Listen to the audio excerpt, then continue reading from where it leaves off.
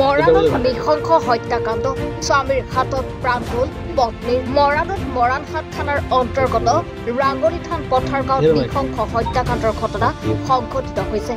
যোৱা নিশা ৰাংগলী থান পথাৰ গাঁৱৰ আছাও হেমৰাম নামৰ ব্যক্তিজনে মদৰ নিচাত নিজৰ পত্নী ৰুমি টপক লাঠিৰে কোবাই কোবাই হত্যা কৰে। ঘটনাস্থলীত স্থানীয় গাঁওৰক্ষী বাহিনী আৰু মৰাণহাট আৰক্ষী উপস্থিত। স্থানীয় গাঁওৰক্ষী বাহিনী আৰু মৰাণহাট আৰক্ষী উপস্থিত হৈ হত্যাকাৰীক কৰায়ত্ব কৰে। হত্যাকাৰীৰ নাম আছাও হেমব্ৰম বুলি জানিব পৰা হৈছে ঘটনাটো মানে কি তো এই চোৱা মানুহজনীতো ইয়াত নাথাকে সাধাৰণতে। বহুত দিনৰ পৰা মাকৰ ঘৰতে থাকে। কালি হেনো মাতি আনিলে ইয়ালৈ। মাতি আনিলে বুলি কোৱা শুনিছোঁ আৰু মই। মাতি অনাৰ পিছত কি হ'ল ইয়াতে ৰাতি থাকিলে থাকি ৰাতিপুৱা মৰিলে বুলি খবৰ ওলাইছে। প্ৰথমতে আমি গম পোৱা নাছিলোঁ যে এনেকুৱা এটা হৈছে। অল নমান বজাত মাক গ'ল মাকে গৈ ক'লেগৈ যে হেৰি হ'ল এনেকুৱা এনেকুৱা ঘটনা হ'ল গতিকে তাইক গৈ চালোগৈ। মোৰ এচুৱে দাগ আছে গতিকে মাৰি পেলালে বুলি ভাবিছোঁ বোলে। গতিকে আবেদন এখন দিলে আৰু আবেদনখনত দিয়াৰ পিছত আমি থানাত যোগাযোগ কৰিলোঁ। তাৰ ইতিমধ্যে মানে পুলিচ বিষয়াসকল আহি পাইছেহি আৰু তেখেতক মৰণোত্তৰ পৰীক্ষাৰ বাবে ব্যৱস্থা গ্ৰহণ কৰিছে। কোন এইটো ৰাঙলী থান পথাৰ আছে তৰাণী থান পথাৰ। মহিলাগৰাকীৰ নাম ৰুমি নাম? আছাও হেমৰম।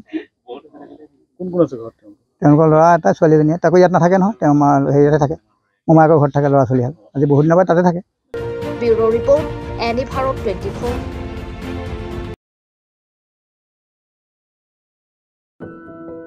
AnyBharat twenty ফ'ৰৰ প্ৰথম প্ৰয়াস।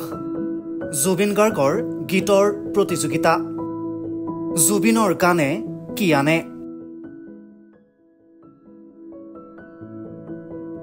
অডিশ্যনৰ বাবে যোগাযোগ কৰক।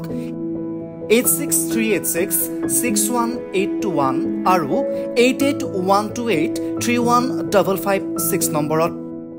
এনি ভাৰত টুৱেণ্টি ফ'ৰ উদ্যোগত এটা নতুন সংগীতৰ প্ৰতিযোগিতা আয়োজন কৰা হৈছে য'ত মোৰ গানৰ প্ৰতিযোগিতা হ'ব। আপোনালোকে তাত প্ৰতিযোগী হিচাপে আহিবলৈ পাৰিব। আৰু মোৰ ফালৰ পৰা আন্তৰিক শুভকামনা জনাইছোঁ। আৰু অনুষ্ঠানটোৰ নাম হৈছে গানে কি আনে।